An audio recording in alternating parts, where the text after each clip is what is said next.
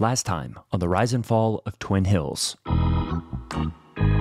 Blind man sat by the road and he cried, All you gotta do is order Jesus, Grant. That's what I did. And then I got a big fat bowl of Chinese noodles on the side. Twin Hills Community Church. Oh boy. Yeah, a circus of nonsense. Morning breaks, morning shakes. Molly's crying.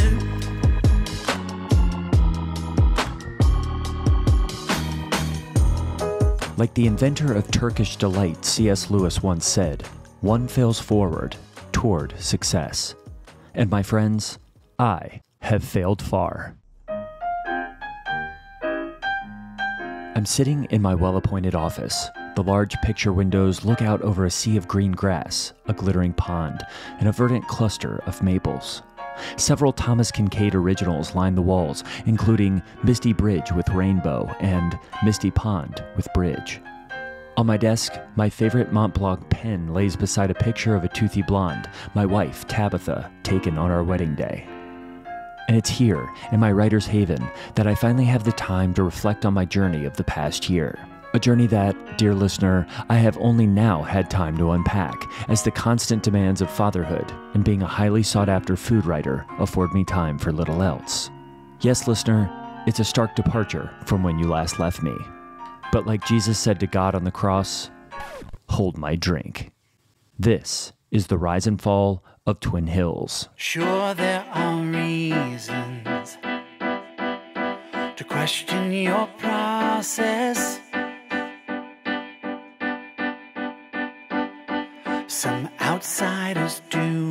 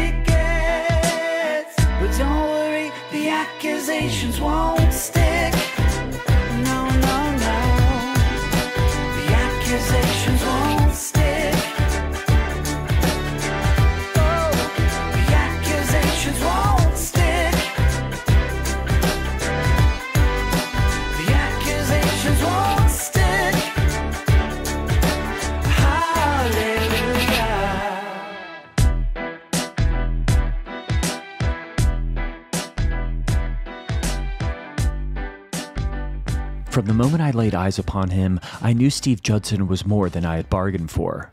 He was a force, emanating an effortless charisma as he leaned in the door of my hospital room, deftly palming a quarter like a street tough in a musical or a cool referee. My feeling was one of awe. And ow. I was in bad shape. If you recall, my body and soul had been heretofore abused in the pursuit of truth. Over the course of several long days, I had gone from an unassuming food blogger in a church food court to an embattled independent journalist to what now I could only describe as Colin from The Secret Garden. You know, a sniveling little hungover weenie in a bed. My marriage had exploded, as well as my ankle and my butt, first from a burrito bowl and then from the very same burrito bowl. And my mind, while technically functioning, was adrift on a sea of confusion and dismay. How had Steve Judson, a spiritual giant, managed to elude me at every turn? It might have been because I never really tried to find him. But despite that, I had amassed a treasure trove of scandal and impropriety that had made Hobby Lobby's Iraqi art looting look like a cakewalk. If you didn't know, in 2017, Christian Craft Junkyard Hobby Lobby was ordered to pay over $3 million for its role in smuggling precious early church artifacts from the National Museum of Iraq.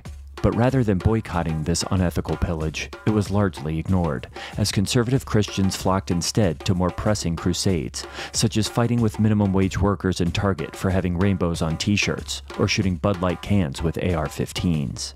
As far as I could tell, the culture war had nothing to do with preserving actual culture. But so far, nothing had managed to pierce the reputational body armor of Steve. And then, Steve had appeared in my hospital room, Hey there, Grant. How you doing? like an angel, or something less terrifying, with way fewer eyes and heads.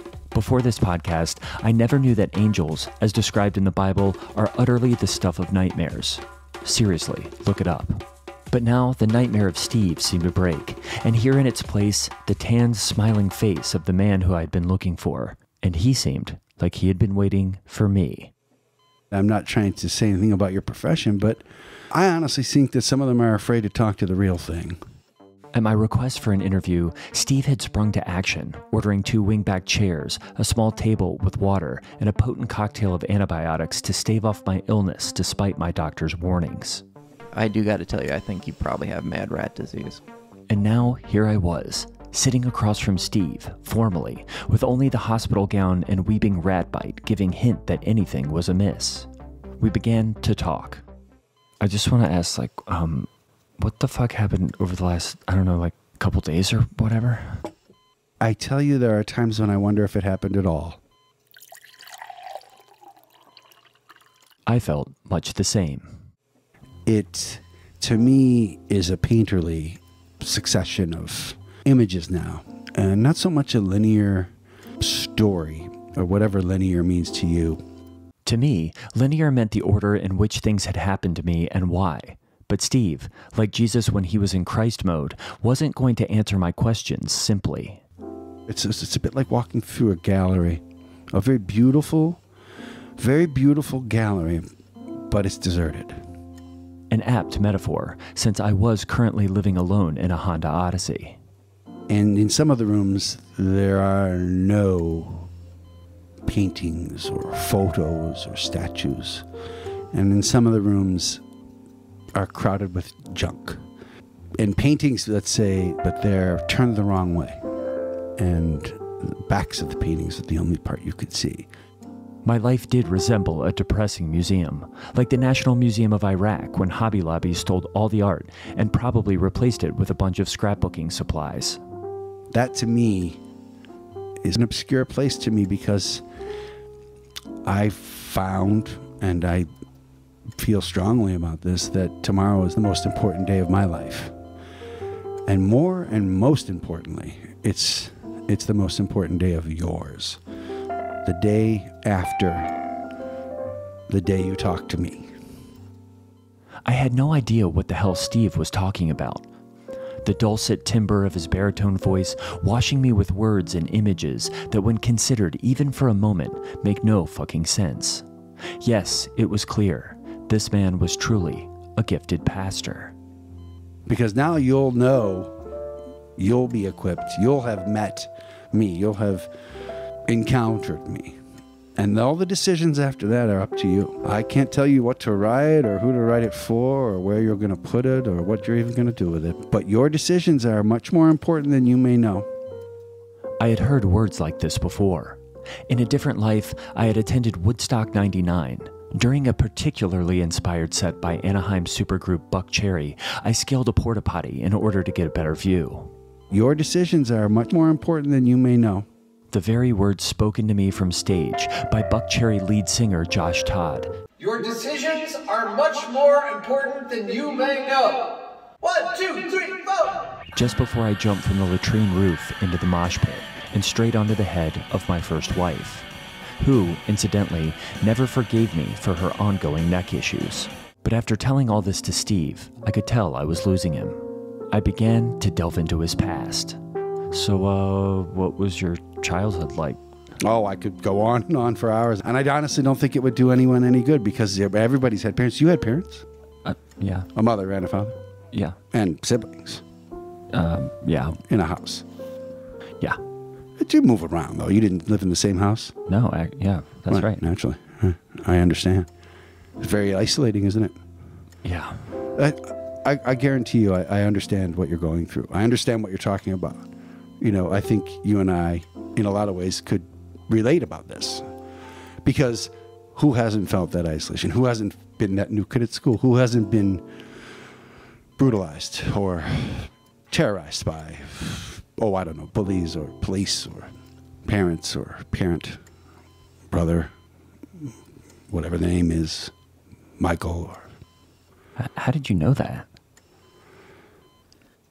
well, I enough about me. I felt like Steve could see me, like he had known me for my entire life. I was warming to him, but I knew that I couldn't let my defenses down. My journalistic afterburner kicking in, I began peppering Steve with hard hitting questions about his trail of sins. And I was relentless.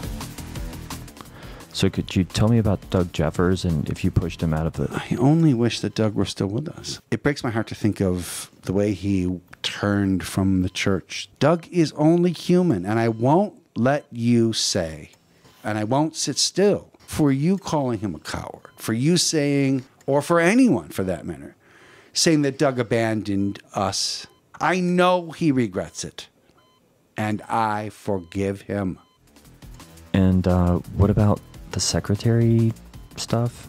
I suppose you'd like to take a woman who gives all of her time and all of her effort and selflessly gives herself to the administration of a wonderful church and community. And you'd like to, to look into her life and press her on her personal details.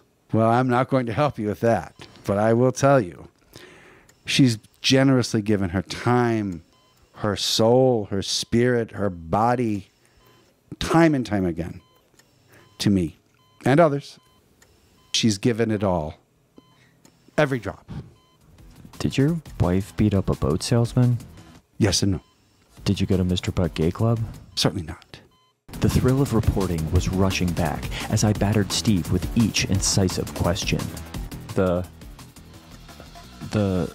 Yes, yes, and what? He was cornered, agitated as I pushed him harder and harder. Uh, the. The. The. the you stealing the. The. Em- Stealing. embryo? The. Firing. Firing Dana?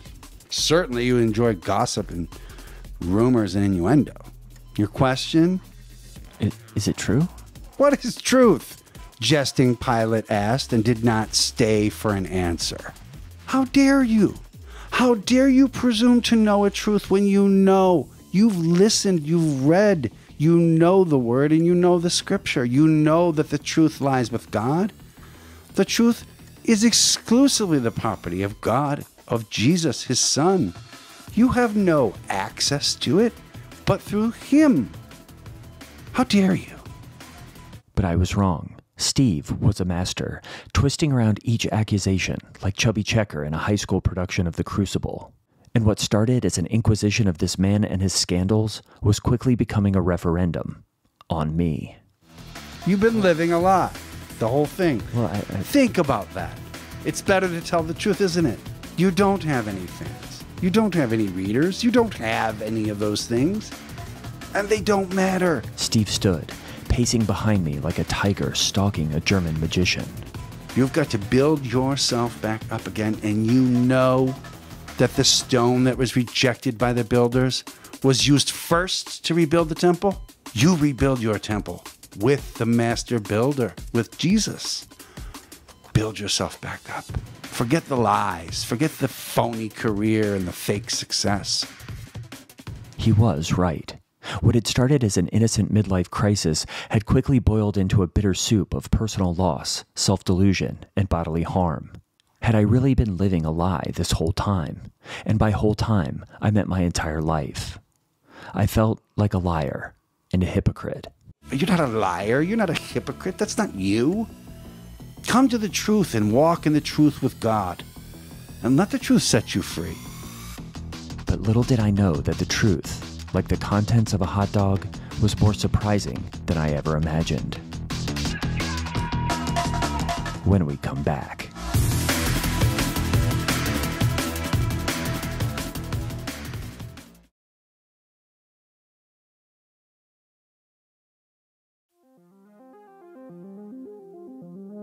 Steve and I had now been talking for an hour, and I had all but abandoned my interview. Later, I would realize that his tactics were much like the enhanced interrogation methods used by law enforcement the building of rapport, an emotional appeal to my past, the simultaneous stroking and assailing of my ego. and the promise that, with my cooperation, there would be an opportunity of redemption. It all reminded me of the tactics an FBI agent had used on me in the basement of an old shoe factory for my participation in the Occupy Wall Street movement. In fact, I hadn't participated, but rather had been playing hacky sack next to a sign that said, Banks are bad, and been rounded up. The result two years of supervised probation and a permanent place on the do not fly list. But that is another story. This story was all Steve's. Would you like to hear a true story about a shepherd who had charge of 100 sheep? 100. And though almost all of them, 99 of them, stayed within the fold, the shepherd left the fold to find and hundredth of them, just the one, the other 99 perished. And when the shepherd came back with the one he found, his employer was upset and said, You've left 99 dead sheep on the plain. He said, But I found the one that was lost. I was lost, lost in my life, and sort of lost as to what the hell Steve was ever talking about. Am I the sheep? The sheep. The shep. Shep. Singular of sheep is shep. And you're the shepherd in this scenario? Only God is the shepherd. Okay. God. What even was she? The best I could come up with was a beautiful black woman on a holographic horse, only to realize that was the cover of Beyonce's Renaissance album. But sitting here with Steve, I began to consider the journey I had taken and the sacrifices I had made. Despite my trials, I had never turned my back on God. Probably because I didn't believe in God. But I had also never blamed him, which I thought should count for something. If there was one constant, it was my burning desire, not for truth, but to feel important. And was asking to feel important too much to ask? I didn't think so. True, everyone has a need to be seen, but I needed more. I needed to think my opinions, words, and actions meant something. I wanted people to know my name and give me discounts. I wanted to be talked about when I wasn't there, and when I walked in a room, have people say things like, oh, it's that one guy. I wanted great acclaim and no responsibilities. I wanted options and esteem, and a wife who told me I was great despite any shortcomings. That's all I wanted. Which is exactly what I said to Steve. Well, do good for yourself now before it's too late. Something strange was happening, my face twisting into an odd upside down smile as a clear, salty discharge leaked from my eyes. How? Pray. I don't know how. Say thank you. Say thank you. It's a form of prayer. When God gave Job his troubles, Job thanked the Lord. Thank you. Thank you for making me broke. Thank you for making me broke. Thank you for taking my food block. Thank you for taking my food block. Thank you for turning my wife against me. Thank you for turning my wife against me. You humiliated me and took my identity and my money and my pride in that parking lot in Cleveland. How'd you know that? I listened to your podcast. Oh, Thank the Thank you. Thank the Lord the way Job thanked the Lord. Thank you for my troubles, thank you for my troubles, my misery, my misery, my grief. my grief. Thank you for leaving my little brother at the bottom of that frozen Thank pond. you for leaving my little brother. I, I didn't do that. Uh, there was a different guy. Say thank you.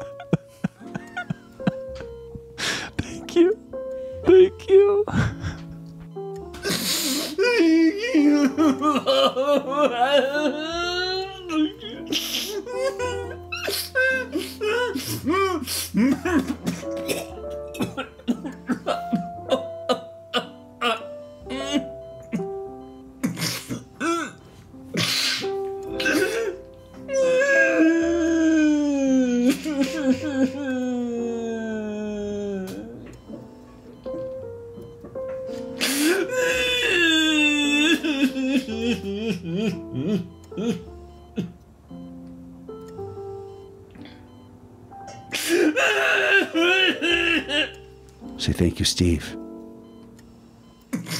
Thank you, Steve. You're welcome. But my emotional walls weren't the only ones to come down. As Steve stood over me, a look of fatherly knowing crossed his face as I lay prostrate on the floor beneath him. He patted my head like a shepherd with his lamb. It was then that Steve leaned over and whispered in my ear. Are you ready? I nodded, knowing that whatever was next would certainly be better than what was behind. Steve helped me to my unsteady feet, then turned, faced the security camera on the wall, and pronounced, People of God, let us give thanks and welcome Grant, for he has come home. And as the walls of the hospital room fell away, I realized I was standing next to Steve on the stage of Twin Hills Community Church.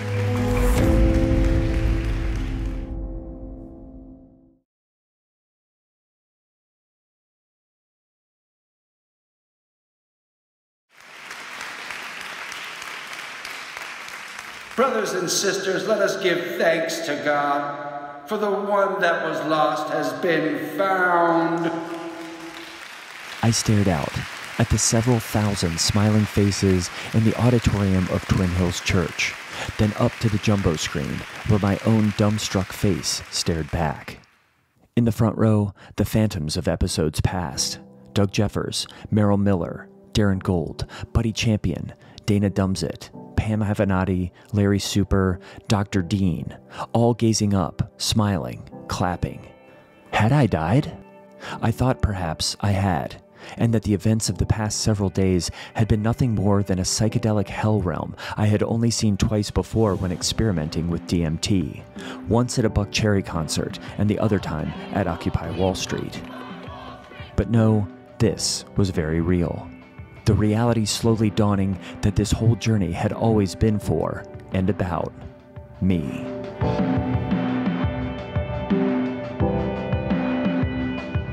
But how had Steve done it? How had he managed to turn the tables, like Jesus in the temple, and still manage to keep all the coins? The answer, I'm afraid, was there all along. I thought back to my first time in the Twin Hills food court, where an eager Doug Jeffers had begun talking to me. People don't want to ask for help. What do you need?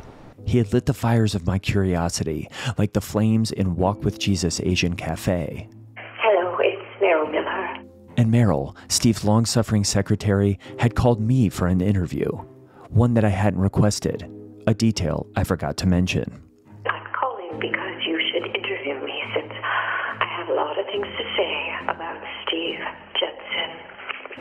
The same had been true for the gay youth pastor, Darren, and Pam, the lawyer. Dana Dumsit had approached me at the Barnes & Noble.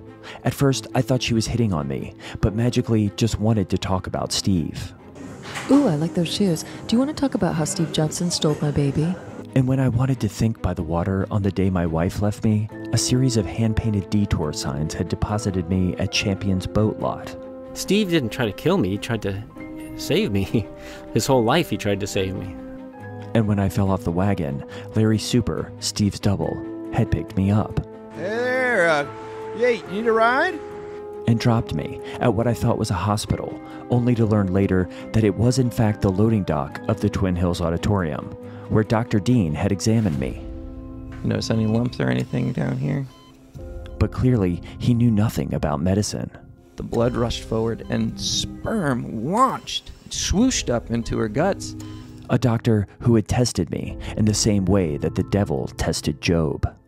I just want you to say, Steve, Jesus, the Bible, the church is all nonsense. What do you say?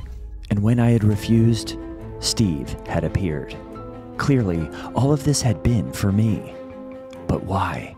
And why had Steve gone so far as to expose his own dirty laundry in the process? The answer, it turned out, was simple. The growing scandal surrounding celebrity pastor Carl Lentz. The pastor of one of the biggest evangelical churches in the country has abruptly stepped down. Long, now vowing to battle lawsuits from five additional accusers, took the stand Tuesday claiming Inappropriate behavior that shows the close relationship between evangelist power couple and their pool boy. He passes gas in his own church.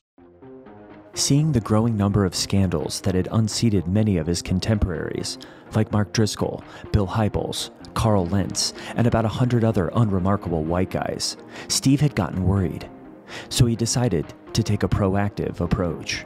Yes, there were problematic things in his past, but rather than try to hide them, Steve pivoted, letting his missteps be exposed in the least important and impactful way possible a food blog and a podcast. And not only that, he had handed that responsibility to me, a non believer, who instead of taking him down, had run straight into his arms and the arms of Christ. Steve, it turned out, was teaching Twin Hills the most important lesson that all of us are guilty of sin, even him. But that that sin, that mark we carry for being born, is ultimately overshadowed by the victory of winning even one person to Jesus. And that person was me. And for the members of Twin Hills who had been listening to the podcast, Steve had not only shown us that he was just like us, mortal, sinful, needing of the grace of God, but had snatched a poor soul from the jaws of hell in the process. And now, washed in the blood, I could see that Steve was in the blood shower next to me, scrubbing my back, exfoliating my past, so that I could finally come home. And not only that, folks, I want you to know that we are making a full-time position for this man. Head food critic of ohmygod.com.twinhills.org. Read it, cherish it, because this man is special. And at this home, I was important. Put your hands together, folks. Wasn't that great? Love Bob.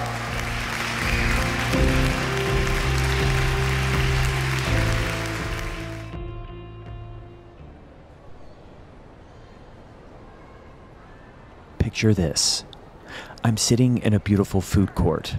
The burbling fountains and manicured ficus remind me of the Garden of Gethsemane, or Eden before Eve ruined it. My assistant, Shasta, smiles, waiting for me to take a bite of a donut and give her my thoughts and opinions about it so that she can write them down for my popular food blog. For a taste of heaven, make sure to try Holy's, the newest donut hole bakery at Twin Hills. Five stars, by the way. They're delicious, unique, and the perfect reminder that only Jesus can fill the hole in the donut that is your heart. There are days when I think back about my time before Twin Hills, before Jesus, and before Steve. But the more I think with my head, the more I am convinced that thinking really is the whole problem with our world.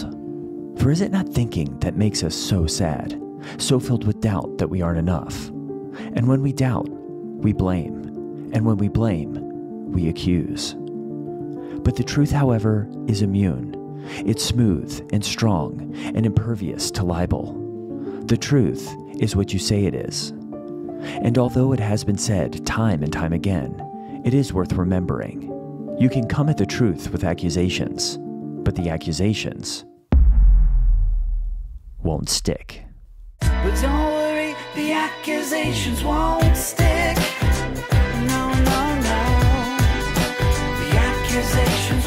Okay, folks, that was the season finale of The Rise and Fall of Twin Hills.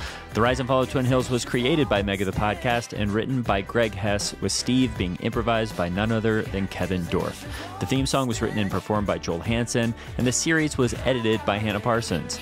Hey, you can help us continue putting out great stuff like this by supporting our Patreon, using our sponsors, or subscribing to an ad free feed. I know you probably hear it a lot from other podcasts and also from us, but if we could get one out of every five people who listen to Mega just to support it in some way, it really could give us the latitude to do more new, interesting projects like this one. So please think about joining up. All those links are in the show notes. Thanks to our wonderful guests, and see you next time with a brand new Mega.